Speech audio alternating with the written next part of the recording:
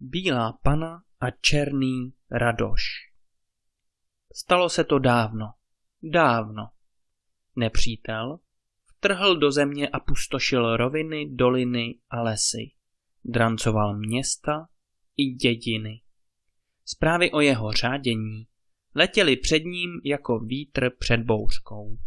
Lidé odcházeli do hor a ukrývali se ve skalách, aby zachránili aspoň holé životy.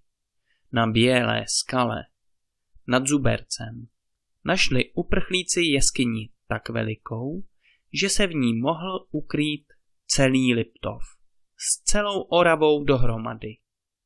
Přišli tam chudí, kteří neměli nic. Přišli zemani s troškou stříbra nebo i zlata.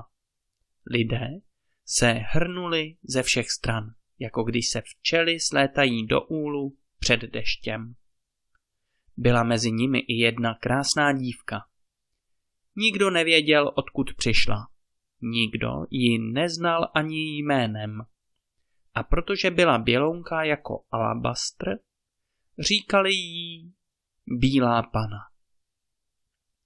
Byla tak hodná a dobrá, že se k ní všichni chovali s úctou a každý byl rád, když s ní mohl promluvit třeba jen slovíčko.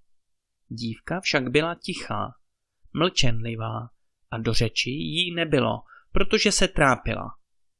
Nepřítel vtrhl i do údolí pod úkrytem uprchlíků a vojáci křičeli nahoru do skal. Jondura mora, Jondura mora, Juro, pojď dolů, zlolajní už odtáhli.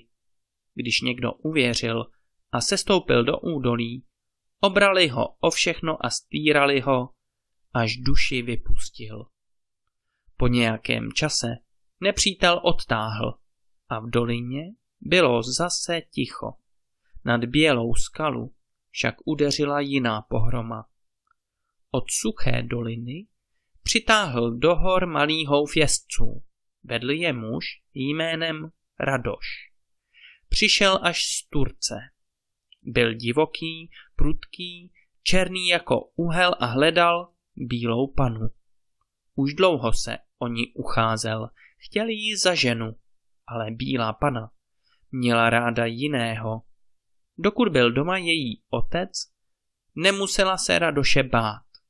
Avšak když do země vtrhl nepřítel, musel otec odejít do boje a poslal svou dceru i s čelátkou do hor, aby byla v bezpečí nejenom před cizími ukrutníky, ale i před Radošem, neboť černý nápadník přísahal, že když mu ji nedá po dobrém, vezme si ji po zlém a silou. Radoš tedy přitáhl k horám s ozbrojenou družinou a nestrácel čas. Dva dny a dvě noci hledali vchod do jeskyně, ale nenašli ho. Lámali skály, ale všechno bylo marné.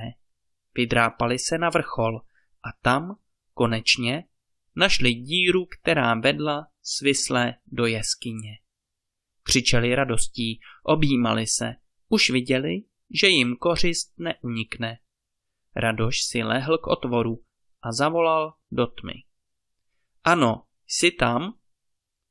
Nikdo mu neodpověděl, jen ozvěna se rozléhala v podzemních prostorách. Radoš pustil do otvoru drobné kameny. Padaly dlouho, dlouho, teprve pohodné chvíli uslyšel, jak žbluňkli do vody.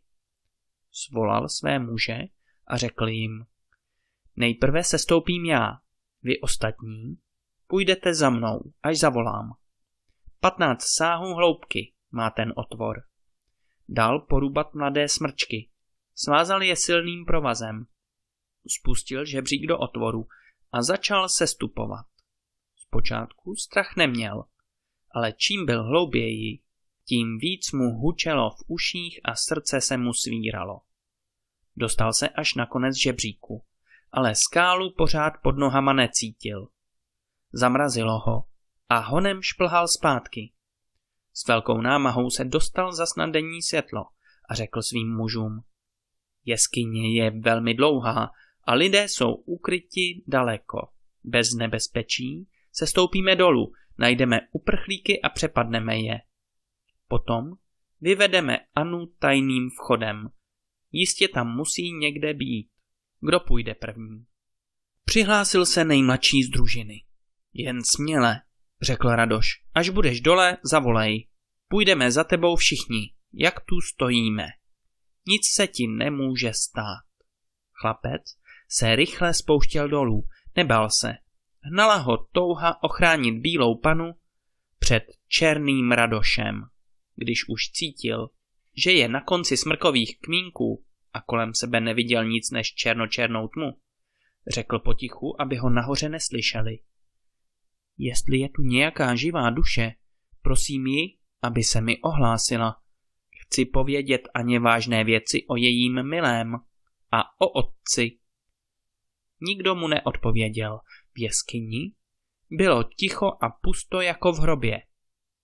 Jestli je tu někdo, řekl chlapec hlasitěji, ať se mi ohlásí, chci povědět všechno, abych Anu zachránil, potom můžete se mnou naložit, jak se vám zlíbí. A co víš o bílé paně, jejím otci a milém? Ozval se z nenadání ze tmy slabý a tichý hlas. Řeknu všechno s radostí, jenom mi povězte, zda mohu skočit dolů. Připadá mi, že jste velmi hluboko. Neskákej, protože by spadl do hluboké studny. Pověz jen, co víš, a pak se zase vrať. Vy jste Ana, řekl chlapec. Poznal jsem vás, proto vám sděluji, že v bitvě se zlolajníky Radoš úkladně zavraždil vašeho milého, toho šlechetného a dobrého člověka. Pak uprchl z bitvy a vydal se za vámi, aby se vás zmocnil.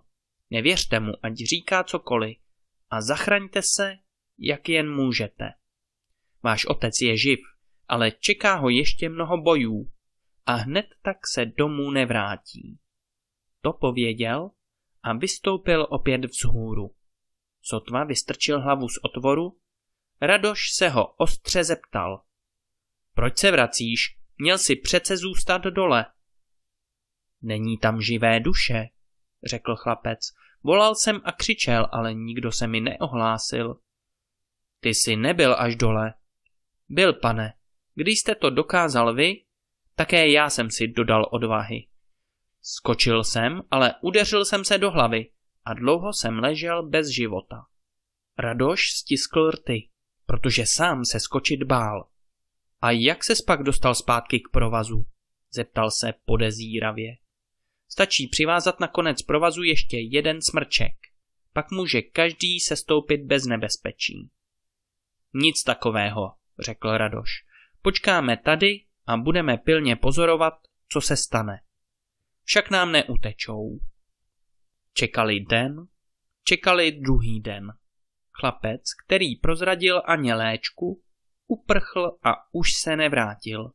Třetího dne zvolal náhle muž, který hlídal u otvoru, že slyší dole pláč. Radoš se sklonil nad otvorem. Uslyšel plačící hlas a poznal Anu. Nepláč, vykřikl do otvoru, to jsem já, tvůj ochránce. Sám osud chce, abys byla mou ženou. Tvůj milý, pro kterého si mne odmítla, padl v bitvě. Ty si ho zabil, vykřikla Ana, a já tady raději zemřu ve tmě, než abych vystoupila z jeskyně a stala se tvou ženou.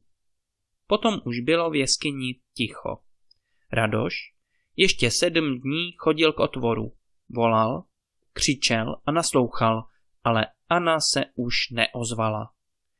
Teprve osmý den uslyšel dole pláč, ale nebyl to pláč bílé pany.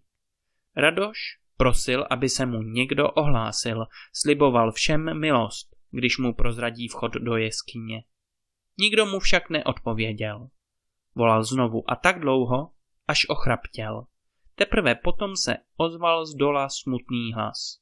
Umřela, bílá pana, Anna umřela. Raději jste ji nechali umřít, vykřikl Radoš, než abyste ji vynesli živou na slunce a zachránili ji. Zhyňte si tam všichni. Všichni. Sestoupil ze skály, pobíhal po travnaté polaně, i lesem, jako divé zvíře, a bez přestání volal. Ano, vrať se, Já jsem Radoš, černý Radoš. Muži z jeho družiny viděli, že se pomátl na rozumu a odtáhli. Po několika dnech se lidé v jeskyni osmělili. Uvolnili vchod a vyšli na světlo. Potom znovu zavalili přístup do jeskyně balvany a rozešli se do svých domovů. A kdo měl jaký majetek, nechal ho tam, neboť nikdo si nebyl jist, zda zlolajní odešli. Radoš se přes den ukrýval v lese, v noci, při měsíci, ležel na balvanu proti bílé skale a nespouštěl z ní oči.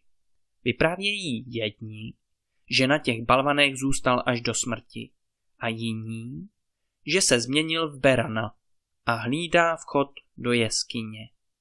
Lidé začas pozapomněli starý příběh o bílé paně a černém Radošovi. Věřili však stále, že Beran hlídá veliký poklad. Hledali vchod do jeskyně, ale už ho nenašli. A tak vznikl další příběh o bílé skale. Vypravuje se o něm, že po dlouhém čase našli vchod do jeskyně zbojníci. Ukryli se tam a v odlehlé chodbě zakopali poklad, který si nanosili ze zboje. Jednoho zbojníka však chytili při Dunaji a trápením ho donutili, aby všechno prozradil a nešťastník vypověděl. Nad Zubercem stojí bělá skala a tam je náš poklad. Od východu slunce je na skále vytesáno kolo a pod ním jsou ukryty dveře. Za nimi je beran a jedna socha na místo člověka a má šavly v ruce. Kdo projde kolem nich, směle se může dostat až do jeskyně. Je tam jeden zlatý pohár, ten se musí vynést nejdřív, teprve potom všechno ostatní. Uslyšel ho jakýsi člověk z jablonky a hned se vydal do hor, aby se pokladu zmocnil. Nemohl však najít vchod do jeskyně, ani vytesané kolo. Našel jen úzký komín, který ústil na vrchu skály. Běžel proto za bačou, který tam nedaleko se synkem pásl ovce a radil se s ním, jak by jeskyni našel. Dlouho hledali všichni tři, až chlapec náhodou vchod našel a vběhl do podzemí. Uviděl hromadu zlata a stříbra a na vrchu té hromady veliký zlatý pohár. A také tam vysel černý klobouček, jaký nosívají chlapci v horách. A byl tak pěkný a pérečkem zdobený, že chlapec na něm mohl oči nechat. Zlata si nevšímal. Nikdy zlato neviděl a tak myslel, že je to jen lesklé kamení. Klobouček se mu však líbil. Moc se mu líbil. Rozběhl se za otcem, aby se ho zeptal, může-li si ho vzít. Avšak, když se vrátili, vchod už byl zavalen skálou a do jeskyně se nedostali. Od té doby tam kopalo a hledalo mnoho lidí, ale do podzemí už nikdo nevkročil a nikdo poklad nenašel. Snad tam leží dodnes a možná je tam i klobouček s pérem, co se tak líbil synkovi ze Salaše. A černý Radoš? Na toho už svět dávno zapomněl.